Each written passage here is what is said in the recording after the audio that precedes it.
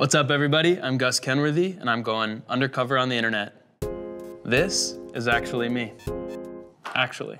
Wikipedia.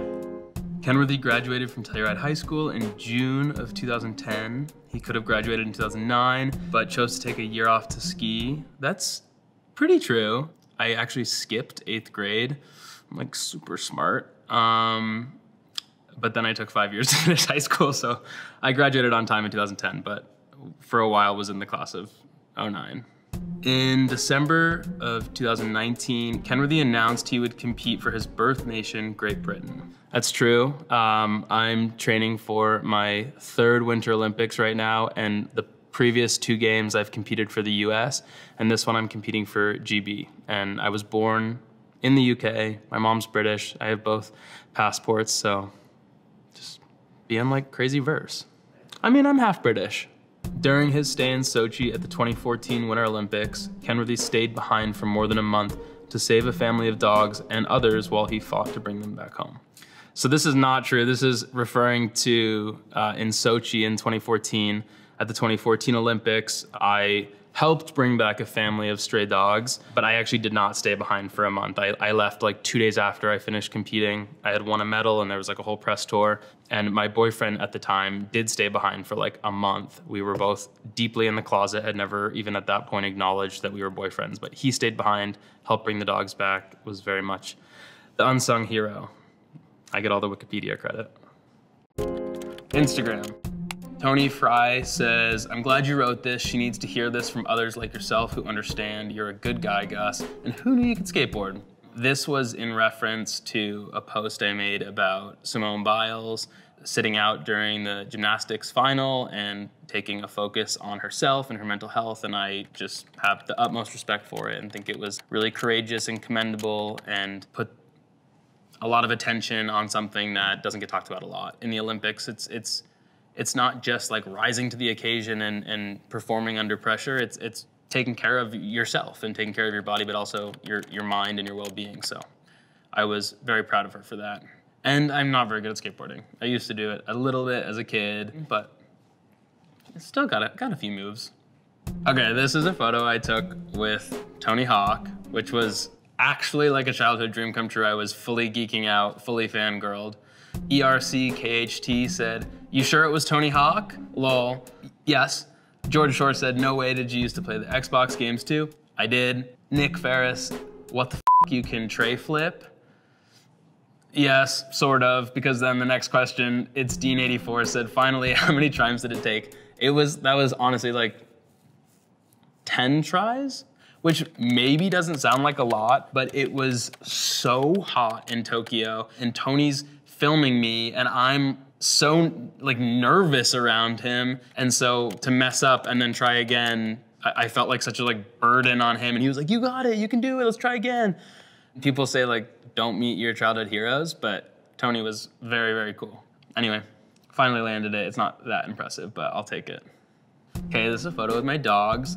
What is the other dog's name? The little white scruffy thing is Frank and that's my boyfriend's dog when we met, but I call him my dog now. And then the gorgeous orange supermodel is Birdie, and she is the one that came back from the Olympics in Korea.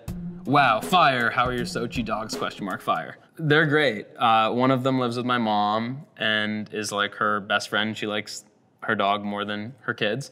The other two live with my first boyfriend. Um, yeah, they're great. I Juan Jose asked if we'll get to see me on a TV show again, please. I hope so. I definitely would love to, to act again. Olympics are in February, so it's it's taken all of me to, to just get there and stay healthy and, and get through it. But after February, I am definitely planning on auditioning and taking classes and trying to get better at it and uh, hopefully keep working. Oscar CRR says relationship status. I am taken. I have a boyfriend. Unfortunately, it's not Lil Nas X. Sorry to my boyfriend. But yeah, no. Taken. TikTok. Maximoff wants to know why do you look so much like Richard Madden? I, I am Richard Madden. we're just gonna skip past the fact that he's holding his body up by his fingers. I'm not. It's like this the scan, the way it works is that everything gets frozen after it passes that body part. So like at the beginning, I'm standing on the chair and then once it scans past my arms, your arms are free to move. So then I was able to hold myself up. I mean, I guess it was just my fingertips, but it wasn't like one hand. I don't know. Maybe I am over explaining that. Twitter. At Captain Trucker says, I enjoyed Paul Rudd, but he's cute at best. How is he named sexiest man alive when Gus Kenworthy is out here? I swear to God, this isn't an alias account. I didn't say this about myself. That is very sweet. That's also very false. Paul Rudd is way better than just cute. He's he hasn't aged. He's ageless. He's beautiful. He's gorgeous. Hey, Paul. Hi. Moving on. Jack Duncan said, How's prep going for 2022? Repping Great Britain, Gus. Preparations for 2022 are going pretty well. I will be competing in men's ski super pipe. I've got my Olympic spot. I secured it last year and the games are in February, so it's coming up pretty quickly. We've got a few competitions between now and then, and I was just in Europe training, but actually had like the worst month ever of training. I knocked myself out four days into the trip and then I was on concussion protocol and couldn't ski for two weeks. And then my second day back on snow, I was like, I sort of feel sick. I don't feel that great. And went and got a COVID test, and I had COVID. So I had to isolate for 10 days in a hotel room by myself. So I was in Europe for a month and skied three days. Chris, KRXSS, yay, welcome to TikTok King. So glad you're here. Will you also make YouTube videos again? I miss your vlogs. I only made one vlog. I was like, I'm gonna do this. And then I realized it's like a lot of work. It's really hard. it's actually really difficult to edit it and import it. And as I'm like talking to the film crew that's gonna deal with that for this, but it's a, it's a lot of work. So probably not. I, I didn't like it, but the TikToks are, are fun and stupid and easy. And I felt like a, a grandfather joining it, but I wanted to see what all the kids were talking about. Reddit. Are we really sure Margaret killed him off? I don't really see how he could have survived these injuries for so long. So that's in reference to Horror Story.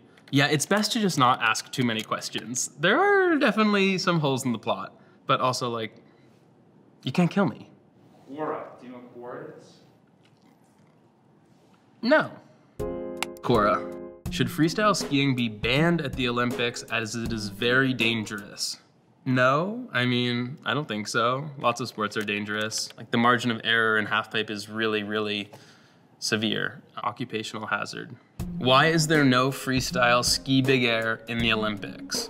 Great question. I actually don't know why it wasn't included in 2018, but it will be in the games in 2022. So this February in Beijing, inaugural ski big air event. It's gonna be lit. It's gonna be lit.